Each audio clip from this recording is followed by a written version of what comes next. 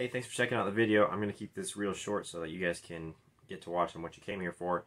Um, I just wanted to get on here real quick and say that this was my first time ever drifting or sliding uh, pretty much any vehicle, let alone uh, this Hardbody, um, which is not fully set up um, to be really good at drifting right now. So go easy on me, please. You know, but I just wanted to show that you know these trucks can actually do some sliding and be a lot of fun on a on a drift pad with minimal work.